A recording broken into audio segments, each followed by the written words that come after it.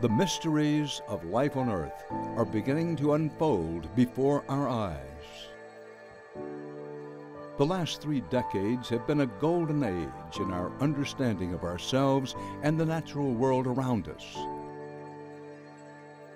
Today, because of drugs, people are living with HIV, cancers are being treated, cholesterol lowered, and many other conditions are being managed and sometimes even cured. And there's an expectation that the pace of discovery is destined to continue, even increase. But if you talk to many scientists, even those who have worked in the pharmaceutical industry, you get a much different picture. The medicines that we need for ourselves or for our children or our children's children may be at jeopardy. Bill Chin has seen the growing crisis in drug development from many perspectives. He currently is the Executive Dean of Research at Harvard Medical School, where he came after spending over a decade leading drug discovery research at the pharmaceutical giant Eli Lilly.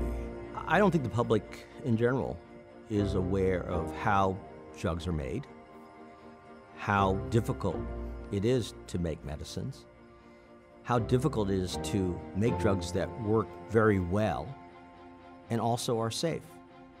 These are major challenges for every single medicine. Currently, it costs on average well over a billion dollars to produce each new drug. That's billion with a B. And that's because trying to develop new medicines is a hit or miss business. Consider this by the time a drug hits phase three trials, companies have already pumped hundreds of millions of dollars into research and testing to make this final and most expensive step as sure a bet as possible. But roughly half of new drugs don't make it through phase three trials. That's right, 50% fail.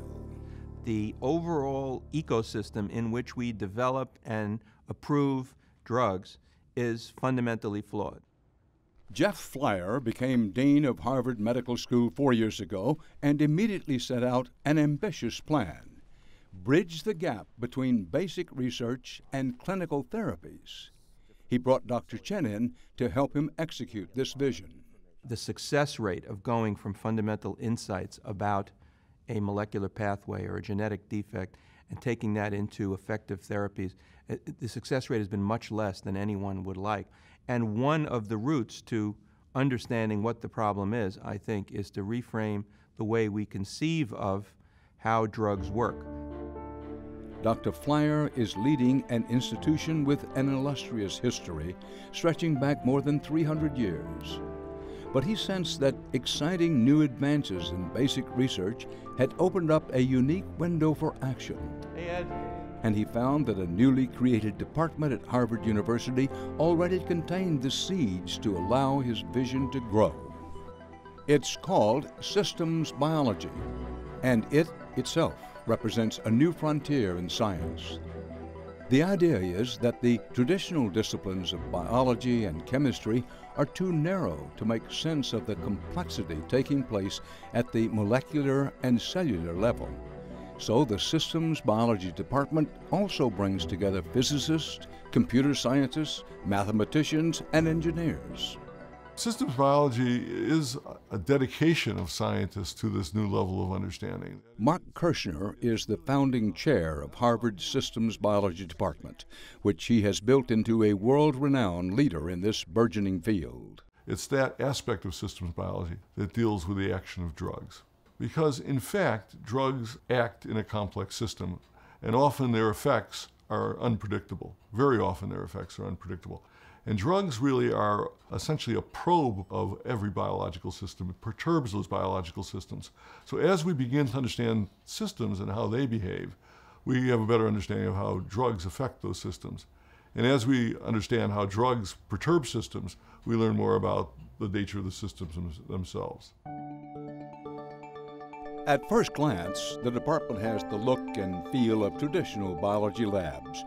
But when you listen to the discussions and see the exploration that's taking place, you immediately see there's a lot more going on. Sure, the goal of systems biology remains understanding the mechanisms of life.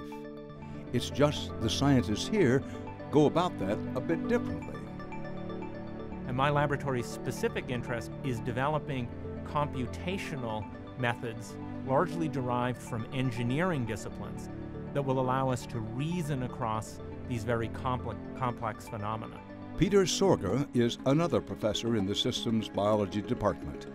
He says that the complexities of life, such as how different types of cells use similar processes to achieve different goals, calls out for creating detailed mathematical modeling like you see in physics, engineering, and computer science.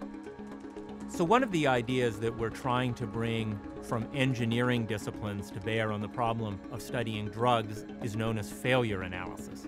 So, when there is an aircraft disaster, enormous effort is put to recovering all the pieces of the airplane and famously the black box so that those can be brought back to a laboratory and the precise failure studied in great detail. Remarkably, that type of study is almost never applied in the pharmaceutical industry. And we know very little about the failures. We don't know what was wrong. Was some idea early on wrong? Was the drug itself wrong? Was the clinical trial done incorrectly? So we're very interested in the idea of bringing failure analysis to bear on pharmaceutical development. The need for failure analysis is another aspect of the startling level of agreement among academics, pharmaceutical company researchers, and doctors that the way we now develop drugs is fundamentally flawed. We leave an enormous amount of relevant information on the table, unexamined, and the goal is to reframe the whole way that we go from fundamental science to therapeutic discovery. And it's a, it's a great moment because the pharmaceutical and biotech industry is seemingly aware of this as well. They don't know how to address it, but uh, I think that together we can, we can do something rather remarkable. If we're going to solve the big issues, if we're going to cure disease, if we're going to make drugs, we can't do it one protein, one molecule at a time. We have to understand the system in which that molecule is working. End of story. Pam Silver is a professor of systems biology. She created Harvard's graduate program in systems biology in 2004, and she says biology is once again competing with high tech as the place to be for the best young minds. Yes, this one's, that one's producing biofuels. The graduate program now gets hundreds of applicants from all over the world and from multiple scientific disciplines for a coveted 10 slots. As silicon was the technology of last century, biology is the technology of this century. And that's what systems biology is about. Because they had things like Host, right. Alexa 48, and that didn't work. So for me, the evidence of the excitement comes from the fact that young people want to be involved. And that's telling me that this is the place to be. To be sure, much of the promise surrounding systems pharmacology remains speculative. Academics aren't used to thinking about the process of drug discovery. But even for veteran scientists like Department Chair Mark Kirschner, the prospects are exciting.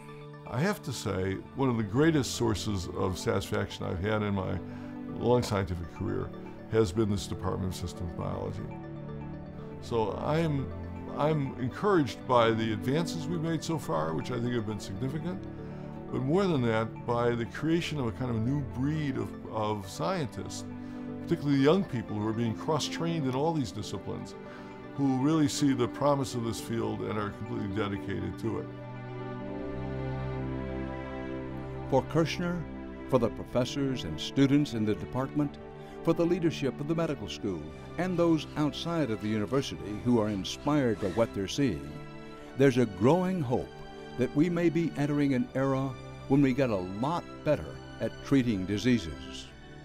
What's particularly exciting about systems pharmacology is it's not just devoted to one disease, but can affect drug discovery for many, many diseases and have a huge impact on medicine.